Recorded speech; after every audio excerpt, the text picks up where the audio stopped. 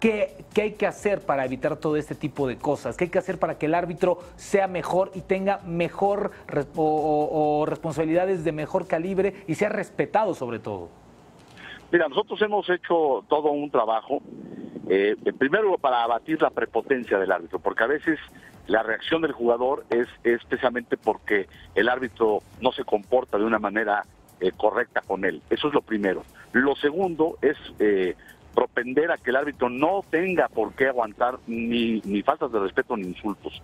Eh, yo no sé si en alguna ocasión, lo ignoro sinceramente, les dijeron que había que hacerlo, pero aquí eh, la, la, instrucción no solamente mía, sino de, sino de la liga, de la federación, es que el respeto sea mutuo, que el árbitro no tiene por qué aguantar ese tipo de cuestiones. Y la otra, pues la incorporación de la tecnología, ¿no? Yo creo que si bien es cierto la, la, la, implementación del VAR no va a abatir el error arbitral, porque ese va a estar presente siempre, va a quitar eh, el error garrafal del árbitro, ese error que todos hemos cometido en, algún, en algunos partidos y que ahora va a tener remedio. Entonces, creo que esos tres elementos pueden ayudar muchísimo a que esto, a que esto mejore. ¿no?